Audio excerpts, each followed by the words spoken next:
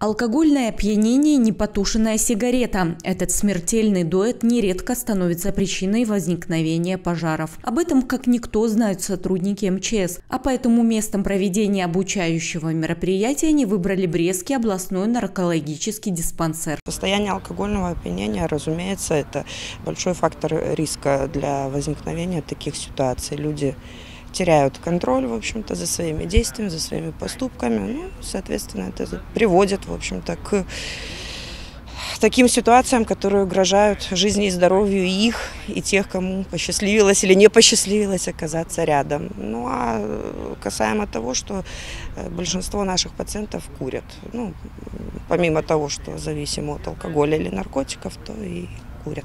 Проблема курения в постели стала одной из основных, но далеко не единственной темой для обсуждения. Присутствующим наглядно продемонстрировали, чем может быть чревато ненадлежащее использование электроприборов и газовых установок. Ни в коем случае нельзя это делать. К сожалению, э, если на первый раз статистические данные за прошлый год и этот, основная масса людей, которые погибают на пожарах, это люди, которые находятся в состоянии алкогольного опьянения. В прошлом году это было 75%, 75% погибших именно такие граждане. И вот именно в этой акции мы и нацелены на данную категорию граждан, чтобы максимально им объяснить э, наглядными примерами и проводя всевозможные мероприятия, э, научить и э, задать им какие-то багаж знаний определенный на предупреждение пожаров. Нам рассказали, как опасны пожары.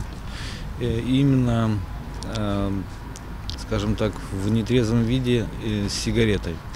То есть э, это ну, как бы важно э, знать и повторять ну, можно, скажем, бесконечно, потому что это стоит человеческой жизни. Знать и соблюдать не одно и то же, поэтому сотрудники МЧС не устают напоминать, что небрежное обращение с огнем может стать причиной необратимых последствий. Мероприятие вызвало неподдельный интерес, все желающие могли задать интересующие вопросы и даже примерить боевую одежду спасателя пожарного. Людмила Лагудич, Андрей Щерба, Юрий Лемонтович, телекомпания Буктова.